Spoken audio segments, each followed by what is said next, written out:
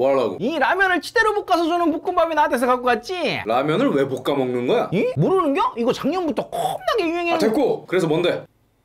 오뚜기 신라면 볶음밥 어디서 샀어? 이 인터넷 인터넷 어디? 이 오늘 상세하게 물어보네 오뚜기몰 얼마야? 이 4,380원 특징이 뭐야? 이 MZ세대에서 인기인 라면 볶음밥을 먹기 편하게 만든 거랴 잠깐 MG MG 하는데 왜 2, 30년을 같은 세대로 먹는 거야? 이 그러게 어이없네 MZ는 이게 MZ인디? 아 됐고 개드립 치지 마 어떻게 먹어?